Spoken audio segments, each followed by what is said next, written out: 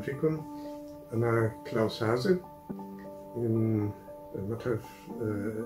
للفن الإسلامي في برلين سابقا والآن أنا أدرس في جامعة الحرية في برلين للفن الإسلامي. From the beginning of my studies of uh, Islamic um, studies,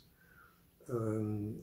I have been concentrating on uh, Syrian cultural history, um, on the art and architecture, and also the archaeology of the medieval periods in Syria. I had been to Syria in 1973, visiting my uh, co-student and friend Heinz Gaube, who was at the uh, Deutsches Orient Institute in Beirut at that time and prepared a most um, wonderful survey in the region of Khanasa. Uh, but at that period, in 1974, uh, this was like a wonder. You came from civilized uh, Halab and uh, Sham um, a few kilometers to the east into a region where you would not find any foreigner, any person um, traveling through. The asphalt road uh, stopped uh, several kilometers before um, Khanasa, and uh, this was fascinating to see the Arab population in the villages around who loved the antiquities around. There was one half column, and they would admire it and say, Here we are in the real Syrian uh, traditional society and uh, culture, uh, cultural region they lived with the antiquities and uh, that uh, for 20 years I uh, worked in the archaeology um, of the Islamic period, um, first in Raqqa with Michael Meinecke, my dear friend, Rahimahullah, um, who um, was continuing the Syrian excavations in Raqqa and um, was very successful in establishing the architectural forms of uh, early Abbasid palaces in that region, which was quite a difficult work uh, because the palaces are of the most simple um, fabric, uh, mud bricks and uh, plaster walls, and some very strange uh, ornaments um, relating these palaces of the uh, famous Caliph Harun al-Rashid to uh, the later great finds of stucco work in uh, Samarra. From after Raqqa, uh, I got an excavation of my own, which I continued for 10 uh, seasons until 2001 um, in Madinat al-Far, uh, which we think is the Hisn Maslama, one of the uh, castles of the Umayyad uh, founders of the uh, Caliphate, the Umayyad Caliphate, on the road to Anatolia. We thought, of course, we would find lots of um, booty from Byzance and Anatolia in uh, Madinat al-Far, but uh, it was more exciting to find the first um, structures of uh, urban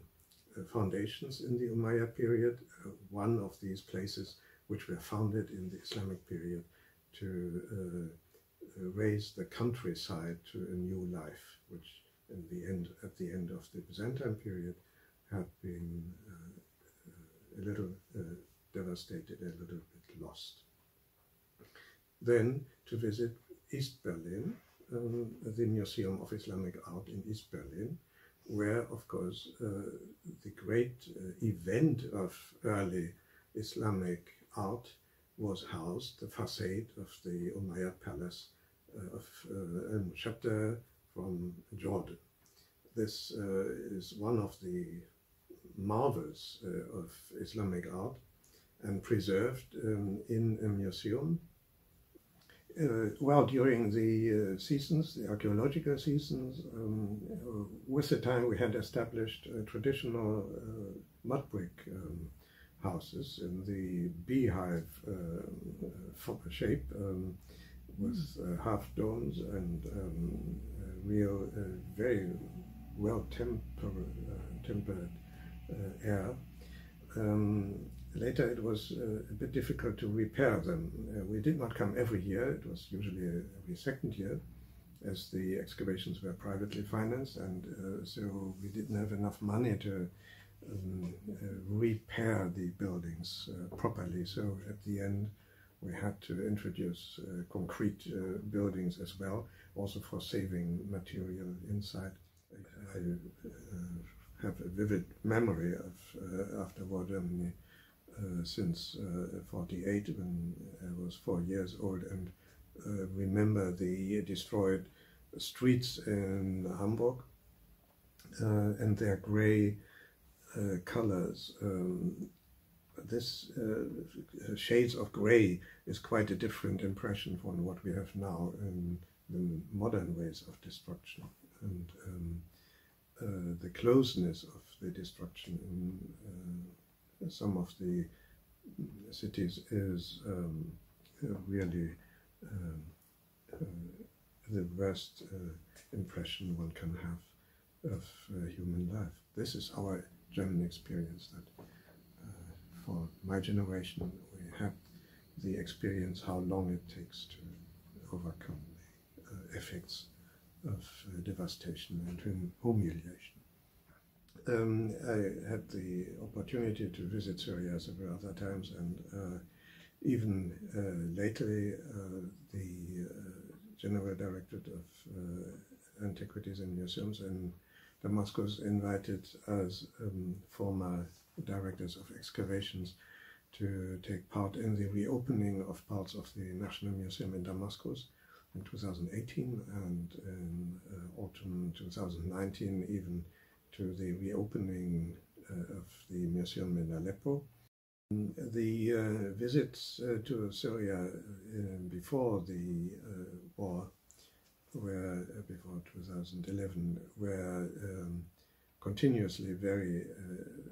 effective, very positive. It was my, um,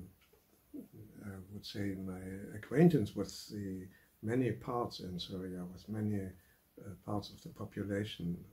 with the workers in the countryside, with the academic colleagues in the museums and universities, uh, which made me feel very much at home in Syria. And um, it was very strange to meet this, uh,